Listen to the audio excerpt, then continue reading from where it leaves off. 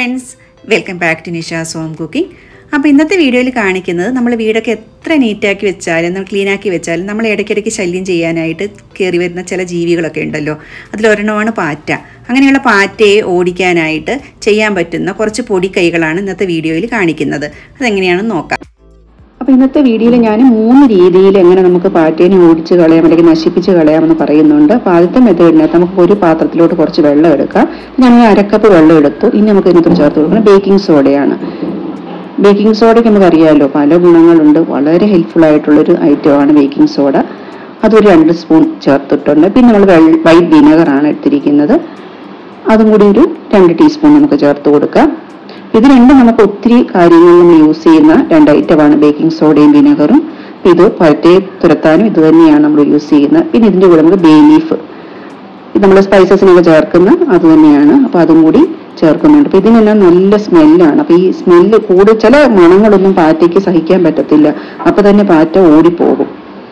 അപ്പൊ അതുകൊണ്ട് നമ്മൾ അതും കൂടി അരിഞ്ഞരിഞ്ഞ് അതിനകത്തോട്ട് ഇട്ട് കൊടുക്കുവാണ്. അപ്പൊ ഞാൻ ചെറിയ ഇലയായിരുന്നൊരു നാലഞ്ചെണ്ണം എടുത്തിട്ടുണ്ട്. നമുക്കിത് അരിഞ്ഞു വെച്ചിരിക്കുന്ന മിശ്രിതം ഒന്ന് കുറച്ച് നേരം ഒന്ന് അതൊന്ന് അലിഞ്ഞു വരാനായിട്ട് നടച്ചു വെക്കാം.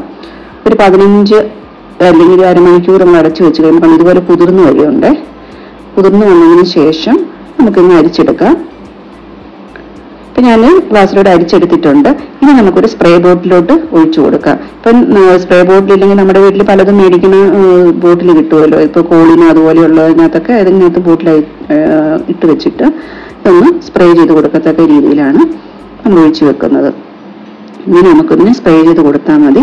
നമുക്ക് എവിടെയൊക്കെയാണ് നമ്മുടെ പ്രോബ്ലം ഉള്ള സ്ഥലങ്ങൾ കിച്ചണിനകത്തോ എവിടെയൊക്കെയാണോ അവിടെ ചെയ്താൽ മതി. ഇനി രണ്ടാമത്തെ മെത്തേഡ് അനുസരിച്ച് നമ്മുടെ സവോളയാണ്. അതിനറിയാലോ ഭയങ്കര ഒരു ആ ഒരു രൂക്ഷമായ ഒരു സ്മെല്ലുണ്ടല്ലോ അതിന്റെ. അത് പാറ്റയ്ക്ക് സഹിക്കാൻ പറ്റത്തില്ല. അപ്പോൾ പാറ്റ അത് കണ്ട് ഓടിപ്പോകാറുണ്ട്. അപ്പോൾ നമ്മൾ ആദ്യം നല്ലപോലെ ഇനി ഗ്രേറ്റ് ചെയ്തെടുക്കാം. അപ്പം അതിന്റെ ജ്യൂസൊക്കെ കറക്റ്റായിട്ട് ഇനി വരാൻ വേണ്ടിയിട്ടാണ് അപ്പം ഞങ്ങൾ ഗ്രേറ്റ് ചെയ്തെടുത്തിട്ടുണ്ട്. ഇനി നമുക്ക് ഇതിനകത്തോട്ട് കുറച്ച് സാധനങ്ങൾ കൂടി ചേർത്തിട്ട് വേണം ഇതിന് മിക്സ് ചെയ്യാനായിട്ട്.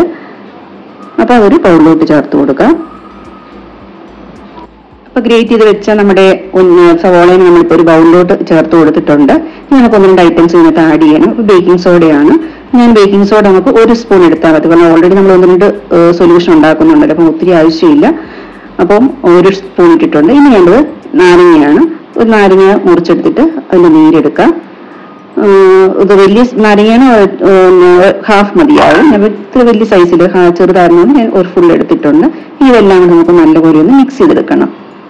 മിക്സ് ചെയ്തെടുത്തിട്ട് നമുക്ക് ഇതിനകത്തോട്ട് പിന്നെ ചെയ്ത് കൊടുക്കേണ്ടത് വെള്ളമാണ്. വെള്ളം ഒഴിച്ചു കൊടുക്കണം. അപ്പൊ ഞാനിവിടെ അരക്കപ്പ് വെള്ളമാണ് ഇതിനകത്തോട്ട് ചേർത്ത് കൊടുക്കണത്.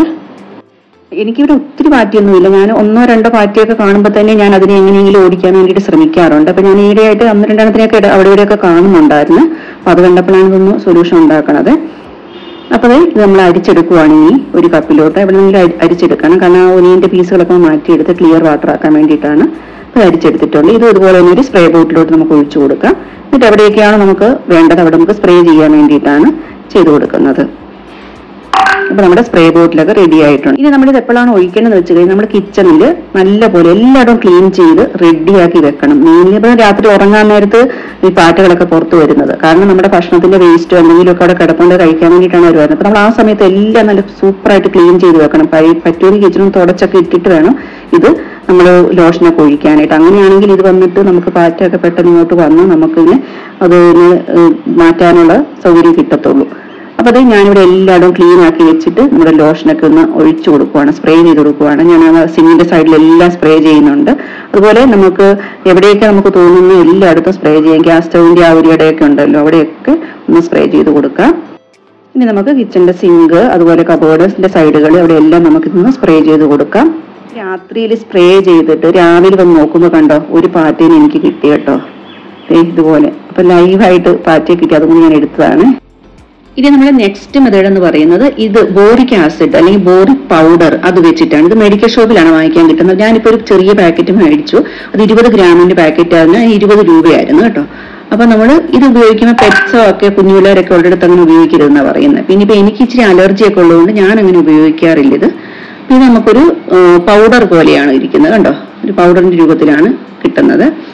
അപ്പൊ നമുക്കിതിന്റെ ഒരു അര ടീസ്പൂൺ ഞാൻ ഒത്തിരി ഉണ്ടാക്കുന്നില്ല. ഒരു ഒരു ടീസ്പൂൺ എടുത്തിട്ട് നമുക്ക് അതിന്റെ ഒരു മിക്സ് ഉണ്ടാക്കാം. അപ്പോൾ ഒരു ടീസ്പൂൺ ഇത് എടുത്തിട്ടുണ്ട്. ഇനി ഇത് ഇതിന്റെ കൂടെ നമുക്ക് ഇച്ചിരി ചേർത്ത് കൊടുക്കേണ്ടതാണ് പഞ്ചസാരയാണ് ചേർക്കണം കേട്ടോ. അപ്പോൾ ഒരു സ്പൂണിന് ഞാൻ ഒരു സ്പൂൺ പഞ്ചസാരയും കൂടി ചേർക്കുന്നുണ്ട്. പൊടിച്ചതോ പൊടിക്കാത്ത പഞ്ചസാര എടുക്കാം. ഞാനിപ്പോൾ പൊടിക്കാത്ത പഞ്ചസാരയാണ് ഇട്ട് കൊടുത്തിരിക്കുന്നത്. അപ്പം ബോറിക് ആസിഡും അതുപോലെ ബോറിക് പൗഡർ എന്ന് പറയാം. ആസിഡ് എന്ന രൂപനയല്ല പൗഡർ രൂപത്തിലാണ് ഇരിക്കുന്നത്. അപ്പൊ പൗഡറും പഞ്ചസാരയും മിക്സ് ചെയ്യാം ഇനി ഇതിനകത്തോട്ട് നമുക്ക് ചേർത്ത് കൊടുക്കാം. വീറ്റ് ഫ്ലോർ ആണ്. വീറ്റ് ഫ്ലോർ തന്നെയാണ്. ഗോതമ്പ് പൊടി ചേർക്കാം. അല്ലെങ്കിൽ മൈദ ചേർക്കാം. ഇത് രണ്ടും അല്ലെങ്കിൽ കോൺഫ്ലോർ ചേർക്കാം. എന്ത് വേണമെങ്കിലും ചേർക്കാം കേട്ടോ. ഒന്ന് മിക്സ് ചെയ്തൊന്ന് കുഴച്ചെടുക്കണം. അപ്പോൾ അതിന് വേണ്ടിയിട്ടാണ് നമ്മളതിനെ എടുക്കുന്നത്. ഇനി ഇത് കുഴയ്ക്കാനായിട്ട് നമുക്ക് പാലാണ് ഉപയോഗിക്കുന്നത്. പാലും കൂടി ഉപയോഗിച്ചിട്ട് നമുക്കൊന്ന് ഇപ്പൊ ആദ്യം ഞാനൊരു കുറച്ചൊരു പേസ്റ്റ് രൂപത്തിൽ കാണിക്കാം. നമുക്ക് ഈ പേസ്റ്റ് ഒക്കെ കിട്ടത്തില്ലേ? സാധാരണ നമ്മൾ പെസ്റ്റ് കൺട്രോൾസിനെ ഒക്കെ വിളിക്കുവാണെങ്കിൽ അവർ ചെറിയ പേസ്റ്റ് പോലെ എല്ലായിടത്തും ഇങ്ങനെ തേച്ച് വെക്കുന്നത്. അപ്പൊ ആ ഒരു പാകത്തിൽ നമുക്കൊന്ന് ആദ്യം ഒന്ന് മിക്സ് ചെയ്തെടുക്കാം. കണ്ടോ? ഇപ്പൊ ഇത് ഇച്ചിരി നീട്ടം കൂടുതലാണ്. ഒരു ശക്കലം കൂടി ഗോതമ്പ് പൊടി ചേർത്ത് കൊടുത്തിട്ട് നമുക്കൊന്നും കൂടി ഒന്ന് കട്ട പോലെ ആക്കിയെടുക്കാം. ഇപ്പൊ ഏകദേശം ആ ഒരു പാകത്തിന് എടുത്തിട്ടുണ്ട്. ഇനി നമുക്കിത് എങ്ങനെയാണ് എവിടെയാണ് ഉപയോഗിക്കുന്നതെന്ന് കാണിക്കാം. ഇപ്പൊ ഞാനിത് കൈകൊണ്ട് അങ്ങനെ ഉപയോഗിക്കുന്നില്ല. എന്നിട്ട് നമുക്കൊരു ഞാനിപ്പോ ഒരു ചെറിയൊരു സ്പൂൺ ഒരു തടിയുടെ സ്പൂൺ എടുത്ത് വെച്ചിട്ട് അത് നമുക്ക് ഈസി ആയിട്ട് വെക്കാൻ ഇപ്പം കബേർഡിന്റെ സൈഡിലൊക്കെ ഇതുപോലെ കണ്ട് ഈ സൈഡിൽ കൂടിയൊക്കെയാണ് പാറ്റകളൊക്കെ ഇങ്ങനെ കയറി വരുന്നത്. അങ്ങനെയുള്ള വിടവുകളിലൊക്കെയാണ് നമ്മളിത് വെച്ച് കൊടുക്കേണ്ടത്. അപ്പൊ അവിടെയൊക്കെ ഒന്ന് തേച്ച് വെക്കാം. പിന്നെ നമ്മുടെ ഇതൊക്കെ ഉണ്ടല്ലോ സ്പൂണ് ഫോർക്കൊക്കെ വെക്കുന്ന സ്ഥലങ്ങളിലൊക്കെ വരും.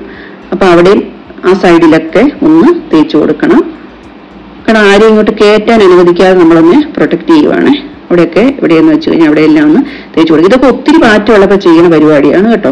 ഇപ്പം നമുക്ക് ഒത്തിരി മാറ്റമൊന്നും ഇല്ലെങ്കിൽ ഇതിന്റെ ആവശ്യമില്ല. അതൊക്കെ നേരത്തെ പറയുന്ന സിമ്പിൾ മെത്തേഡ് അനുസരിച്ച് ഇത് ചെയ്ത് കഴിഞ്ഞാൽ ഉള്ളതിനെ ഓടിക്കും. ഇത് ഒത്തിരി ഉള്ളപ്പോൾ നമ്മളതൊന്നും അത്ര എഫക്റ്റീവ് അല്ലെങ്കിൽ ഇത് ചെയ്യാം. ഇനി നമുക്ക് ഇതിനെ ഒന്ന് ഒരു ബോൾ പോലെ കുഴച്ചെടുത്ത് ഉരുട്ടിയെടുക്കാനായിട്ടാണ്. അപ്പോൾ കുറച്ചും കൂടി ഒന്ന് ഞാൻ ഗോതമ്പ് പൊടി ഇട്ടിട്ട് ഇതിനെ ഒന്ന് ഉരുട്ടാൻ പോവുകയാണ് ചെറിയ ചെറിയ ബോൾസ് ആക്കാൻ വേണ്ടിയിട്ടാണ്. അപ്പൊ നമുക്കിത് ബോൾസ് ആക്കി വെച്ച് കഴിഞ്ഞാൽ നമുക്കിപ്പോൾ ഇനി വെള്ള ഇതുപോലെ വെക്കാത്ത വേറെ സ്ഥലങ്ങളിലൊക്കെ പോയി നമുക്കിങ്ങനെ വെറുതെ ഓരോ ബോളാക്കി വെച്ച് കൊടുത്താൽ മതി. ഇപ്പൊ ഞാൻ ഒരു ഉള്ള മാവ് കൊണ്ട് ഒരു അഞ്ചാറ് ബോൾ ആക്കുന്നുണ്ട് കേട്ടോ. അപ്പൊ അതൊരു ഫോയിൽ പേപ്പറിലോട്ട് ഞാനിപ്പം ഞാൻ ബോൾസ് ഉണ്ടാക്കുവാണ്. ഇപ്പൊ നമ്മൾ ഉപയോഗിക്കുമ്പോഴത്തേക്കും ഒരു ഗ്ലൗസോ പിന്നെ മാസ്കോ ഒക്കെ വെച്ചിട്ട് ചെയ്യുന്നത് കുറച്ച് ഇങ്ങനെ അലർജിയോ അങ്ങനെയുള്ള പിന്നെ മുറിവൊക്കെ ഉണ്ടെങ്കിൽ അതിനകത്തോട്ട് കയറാതെ ഇരിക്കണമെന്ന് പറയുന്നത്. അതുകൊണ്ട് അങ്ങനെ കയ്യിൽ വെച്ച് ചെയ്യും അപ്പൊ ഞാൻ അതിനെ ബോളാക്കിയിട്ട് ഞാൻ ഒ ടി ജിയുടെ താഴെ കൊണ്ടുവച്ചു മൈക്രോവിന് താഴെ കൊണ്ടുവച്ചു കാരണം അതിന്റെ താഴെയൊക്കെ വലിയ ഫുഡ് കണ്ണിന്റെയൊക്കെ പോയിട്ട് കിടക്കുന്നത് കാണുന്നില്ലെങ്കിൽ അവിടെ പിന്നെ അലമാരയുടെ അകയിൽ ഷൂ റാക്കിന്റെ അവിടെ പിന്നെ കബോർഡിൽ ക്രോക്കറി ഷെൽഫിൽ ഒക്കെ എന്ന് വെക്കുന്നുണ്ട്. എവിടെയൊക്കെയാണ് നമുക്കൊരു ഡൗട്ട് തോന്നുന്ന സ്ഥലങ്ങളിലൊക്കെ വെക്കുന്നു പിന്നെ നമ്മുടെ സിങ്കിന് സിങ്കിനകത്ത് രാത്രിയിൽ നമ്മൾ പാത്രം എല്ലാം കഴുകിയിട്ട് രാത്രി കിടക്കാൻ പോണ സമയത്ത് അവിടെ കൊണ്ടുവന്ന് വെച്ച് കൊടുക്കുക. അപ്പൊ ഇതാണ് ഇന്നത്തെ വീഡിയോ കാണിക്കുന്നത്. അപ്പൊ ഈ ടിപ്സുകൾ അല്ലെങ്കിൽ ഈ മെത്തേഡ് നിങ്ങൾക്ക് ഇഷ്ടപ്പെട്ടുവെങ്കിൽ ഒന്ന് ട്രൈ ചെയ്ത് നോക്കുക പാറ്റാശല്യം ഉണ്ടെങ്കിൽ അപ്പം എന്തായാലും ഇതിൽ ഏതെങ്കിലും ഒരു മെത്തേഡിൽ നിങ്ങൾക്ക് സക്സസ്ഫുള്ളി റിസൾട്ട് തന്നെ കിട്ടുന്നതായിരിക്കും. Thank for watching next video ആയിട്ട് വരുന്നത് വരെ എല്ലാവർക്കും ബൈ